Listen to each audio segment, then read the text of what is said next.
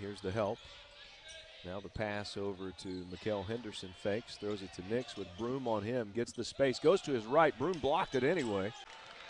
UT Martin on the move, looking to build on the six point lead. And Simon has a shot block this time. I think Broome will be credited with the block shot.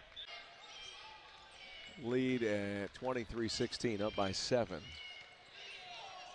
Jeffries Give in him the paint. another block shot, uh, Broome right there. Curry. Another block shot. Two blocks. Yeah. For mid-level block shots, and I thought really in the second half of that first half they just shot a lot of threes, and he's not going to block that.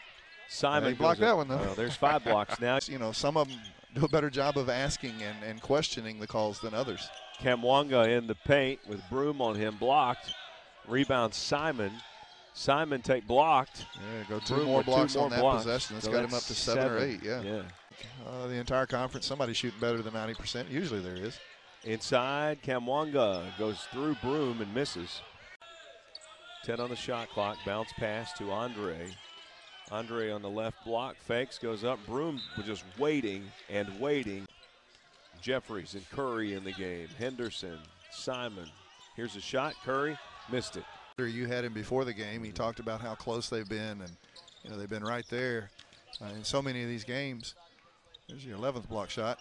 If Broome gets a rebound, he has a triple double. Jeffries taking it in.